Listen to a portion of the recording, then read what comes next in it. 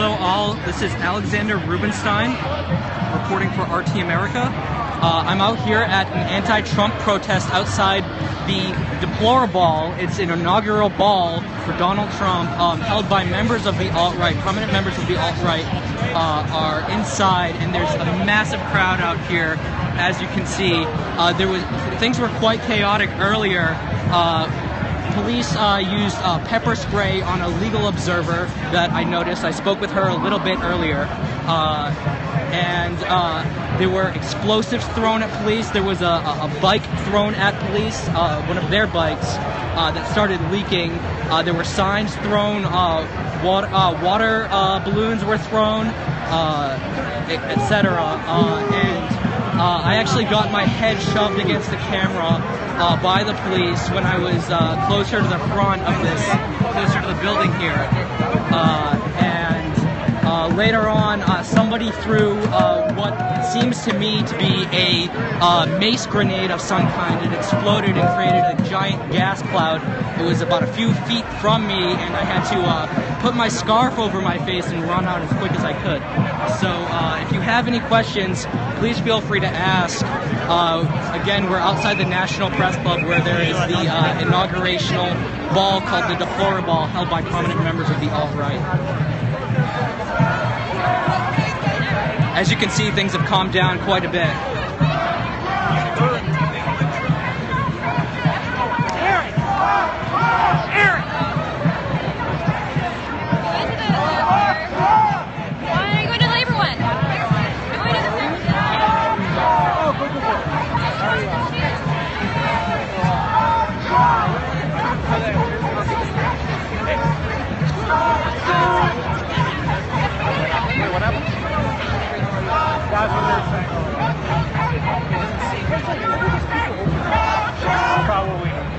Police aren't letting people on the sidewalk. I spoke to uh, some girl that witnessed what happened. She said that uh, what happened was somebody threw a police bike at them and it started leaking and created a gas situation. So. Uh, so that's why they're not letting anyone onto the sidewalk. They're very vigilant. Uh, they've been doing quite a bit of pushing anyone that goes uh, too close.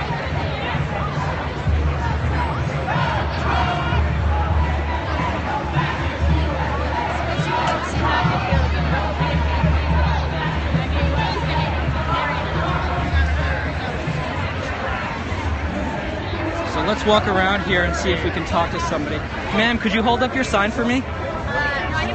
So it says no Trump, no KKK, no fascist USA. That's a that's a very popular chant uh, these days, and as you can see, there is a swastika in his mouth. Are you guys with a group? I'm with uh, RefuseFascism.org. Okay, great. And uh, I'm with J- Disrupt J20. Disrupt J20. Okay, thank you guys.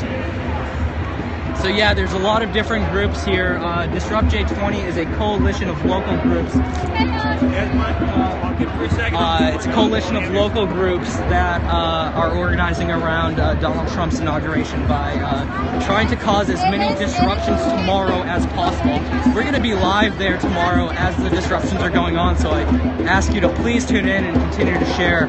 Uh, I know it looks a little bit quiet here, but indeed it was very chaotic earlier.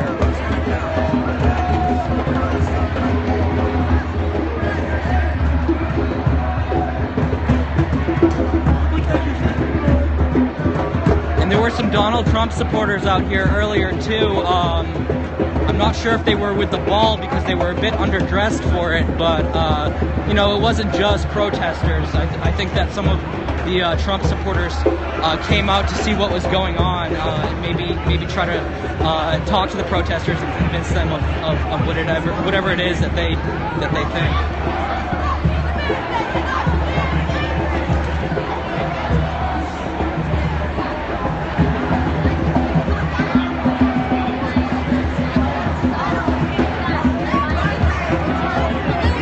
Can see there's a lot of people here wearing masks. People are doing that so that they can't be identified uh, by police if, if they commit crime. There's another helicopter. No KKK, no fascist. No KKK, no fascist. You as a bouncy ball here. About three feet of me, and. Uh, I had to put my scarf over my face and run up. And this guy's praising it. Burn it? Something to it. Guess it's a big Trump flag. Wait, no, I think that's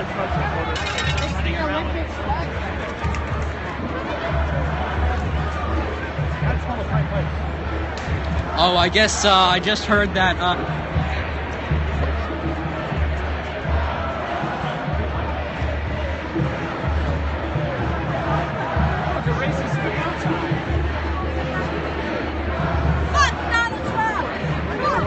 you can see, uh, these people are coming out of the deplorable and protesters are confronting them.